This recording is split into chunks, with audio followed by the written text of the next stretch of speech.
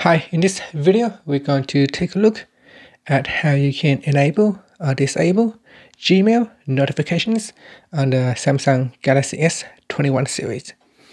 Now, first, go back to your home screen and then on the home screen or in the app screen, tap on the Google folder. In Google folder, tap on Gmail.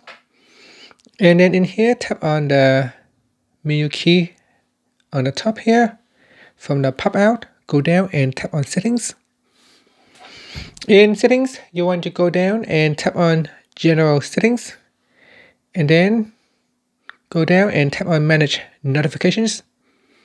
At the top here, tap on show notifications to switch it on or switch it off.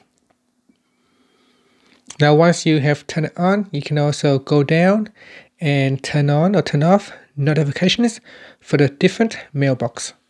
And finally, you can tap on the back key to go back to your inbox, or you can tap on the home key to go back to your home screen. And that's it. Thank you for watching this video. Please subscribe to my channel for more videos.